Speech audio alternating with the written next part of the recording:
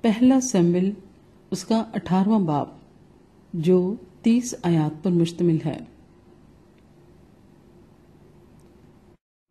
جب وہ ساؤل سے باتیں کر چکا، تو یونتن کا دل داؤد کے دل سے ایسا مل گیا کہ یونتن اس سے اپنی جان کے برابر محبت کرنے لگا۔ اور ساؤل نے اس دن سے اسے اپنے ساتھ رکھا۔ اور پھر اسے اس کے باپ کے گھر جانے نہ دیا۔ اور یونتن اور داؤد نے بہم عہد کیا، کیونکہ وہ اس سے اپنی جان کے برابر محبت رکھتا تھا۔ تب یونتن نے وہ کبا جو وہ پہنے ہوئے تھا، اتار کر داؤد کو دی اور اپنی پوشاک بلکہ اپنی تلوار اور اپنی کمان اور اپنا کمر بند تک دے دیا۔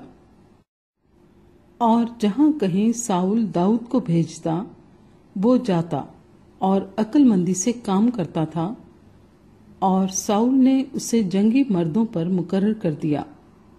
اور یہ بات ساری قوم کی اور ساؤل کے ملازموں کی نظر میں اچھی تھی۔ ساؤل داؤد سے حسد کرنے لگتا ہے۔ جب داؤد اس فلسطی کو قتل کر کے لوٹا آتا تھا اور وہ سب بھی آ رہے تھے۔ تو اسرائیل کے سب شہروں سے عورتیں گاتی اور ناشتی ہوئی، دفوں اور خوشی کے ناروں اور باجوں کے ساتھ ساؤل بادشاہ کے استقبال کو نکلی۔ اور وہ عورتیں ناشتی ہوئی آپس میں گاتی جاتی تھیں کہ ساؤل نے تو ہزاروں کو پر داؤد نے لاکھوں کو مارا اور ساؤل نہایت خفا ہوا کیونکہ وہ بات اسے بری لگی اور وہ کہنے لگا کہ انہوں نے داؤد کے لیے تو لاکھوں اور میرے لیے فقط ہزاروں ہی ٹھہرائے۔ سو بادشاہی کے سوا اسے اور کیا ملنا باقی ہے؟ سو اس دن سے آگے کو ساؤل داؤد کو بدگمانی سے دیکھنے لگا۔ اور دوسرے دن ایسا ہوا کہ خدا کی طرف سے بری روح ساؤل پر زور سے نازل ہوئی اور وہ گھر کے اندر نبوت کرنے لگا۔ اور داؤد روز کی طرح اپنے ہاتھ سے بجا رہا تھا اور ساؤل اپنے ہاتھ میں اپنا بھالا لیے تھا۔ تب ساؤل نے بھالا چلایا، کیونکہ اس نے کہا کہ میں داؤد کو دیوار کے ساتھ چھید دوں گا۔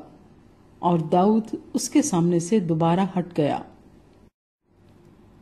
سو ساؤل داؤد سے ڈرا کرتا تھا کیونکہ خدامند اس کے ساتھ تھا اور ساؤل سے جدا ہو گیا تھا۔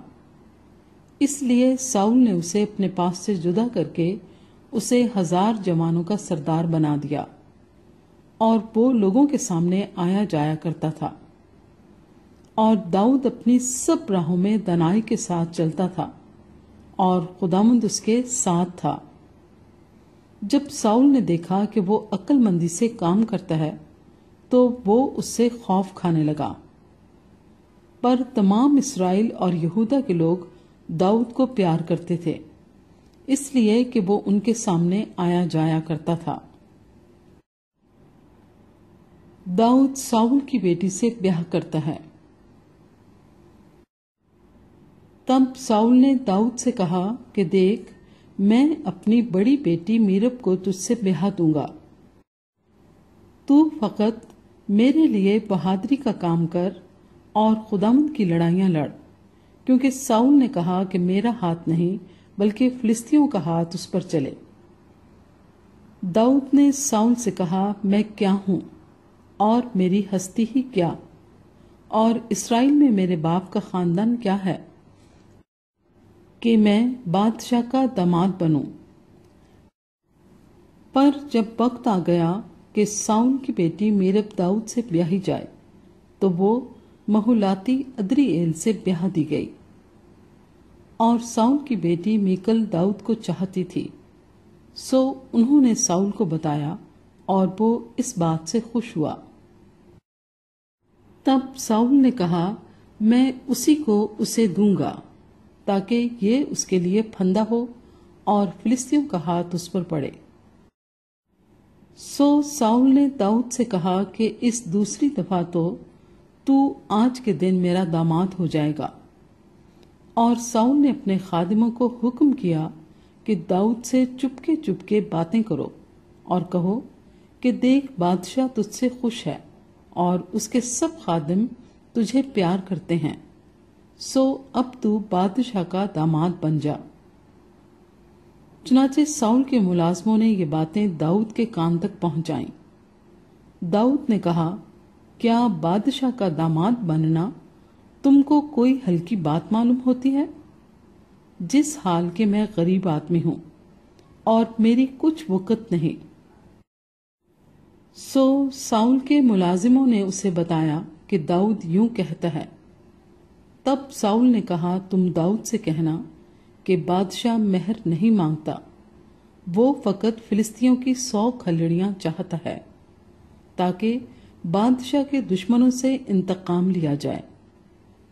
ساؤل کا یہ ارادہ تھا کہ داؤد کو فلسطینوں کے ہاتھ سے مروا ڈالے۔ جب اس کے خادموں نے یہ باتیں داؤد سے کہیں، تو داؤد بادشاہ کا داماد بننے کو راضی ہو گیا۔